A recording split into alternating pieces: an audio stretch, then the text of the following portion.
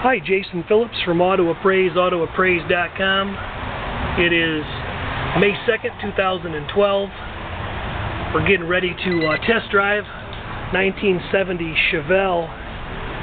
Car set up with a 454 big block, turbo 400 trans, 12 bolt rear. It's got a very nice uh, modified engine bay.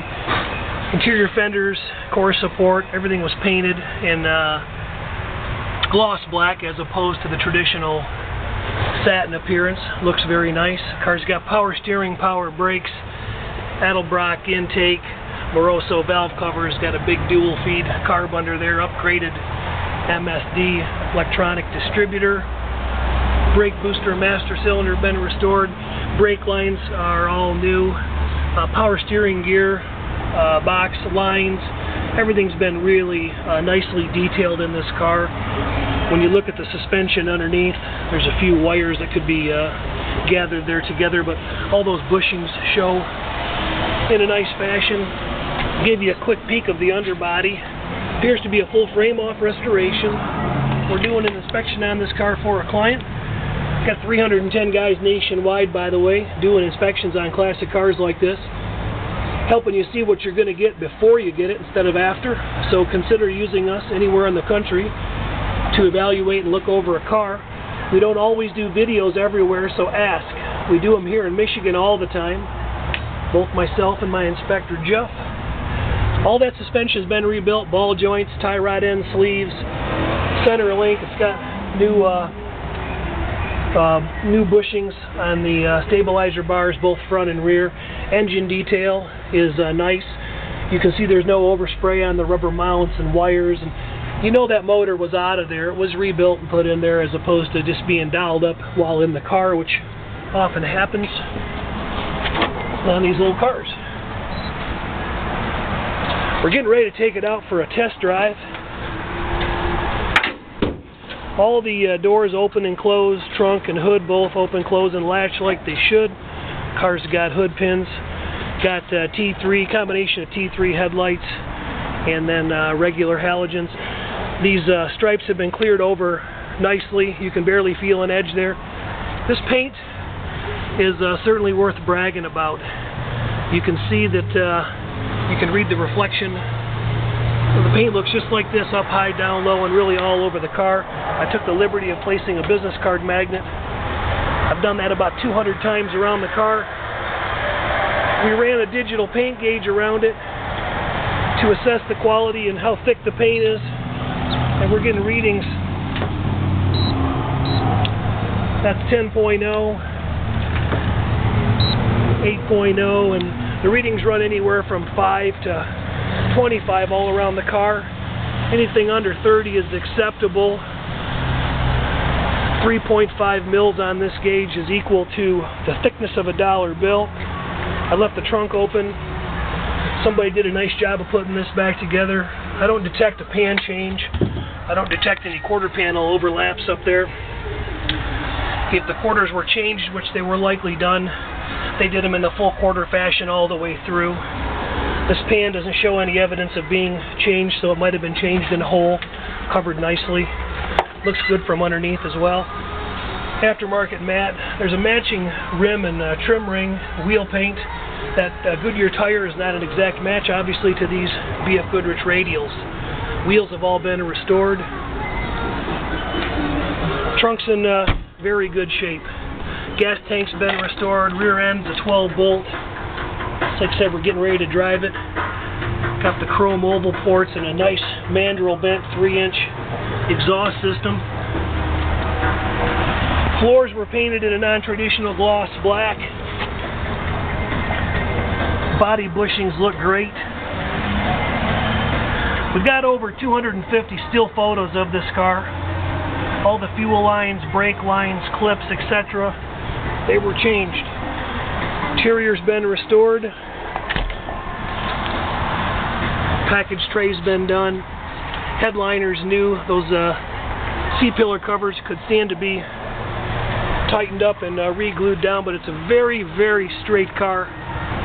All the lines look really good. This line on the door hangs out ever so slightly, like literally a 16th. and that could certainly be bumped in a little bit. But the car itself has really got a nice finish, nice fitment. These doors close with a with a basically two finger. Let me show you my hand actually. Well, now of course it wouldn't show. It's a nice two finger effort. Let's fire it up, take it for a ride. They fired it up cold uh, out of the showroom and backed it out. It's run only for about two or three minutes in the last three and a half hours.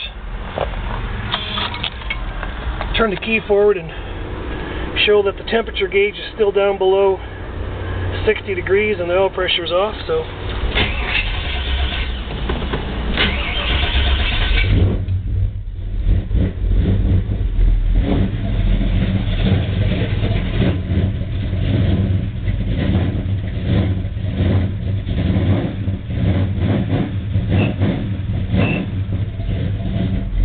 bit of a belt chirp you can hear there. The information sheet suggests that the motor's been built to LS6 specs, showing about 70 pounds of uh, cold oil pressure. Temperature's not coming up yet. It's got a working, functional uh, factory-style tach rolling at about 600 Rs right now. Fuel gauge appears to be working. Let's go see if we can burn a little fuel out of it, huh?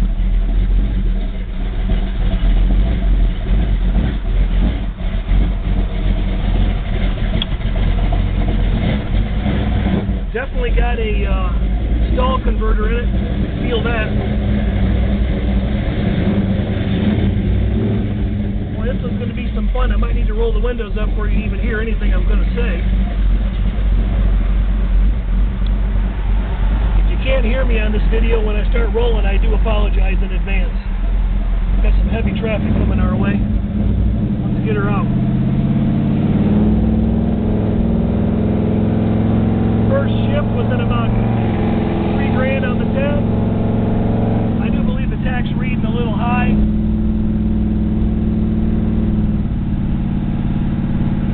Well, the suspension feels very nice. The car's very tight. I'm going to give you a shot of the steering wheel here.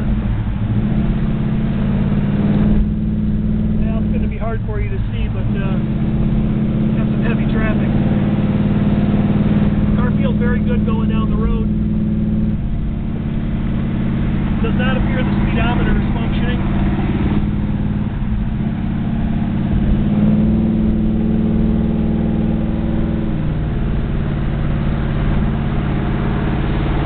About 80 pounds of pressure.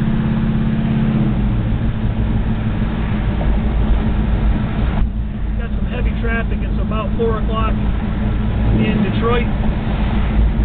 Maybe a little after like to get this thing out and open it up a little bit. Feels like we're doing about 40, 45 right now. Oh, she wants to run.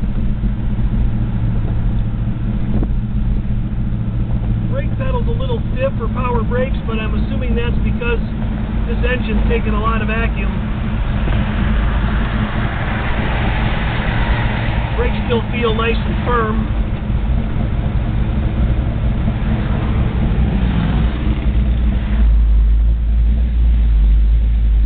Yeah, we are in for some traffic here. This is going to be kind of a boring test drive video. I apologize.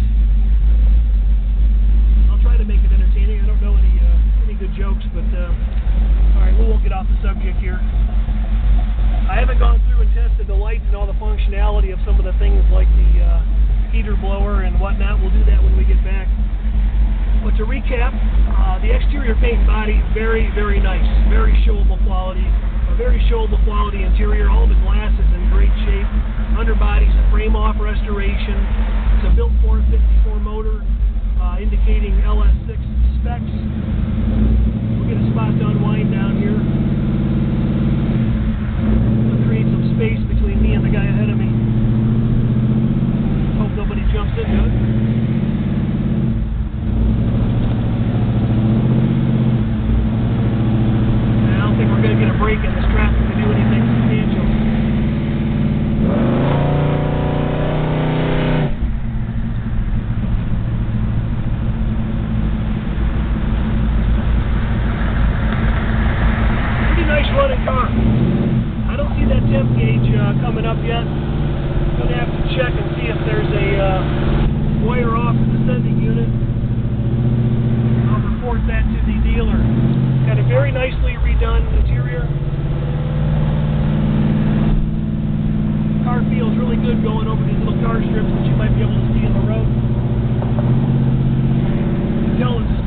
all very, very tight, very fresh.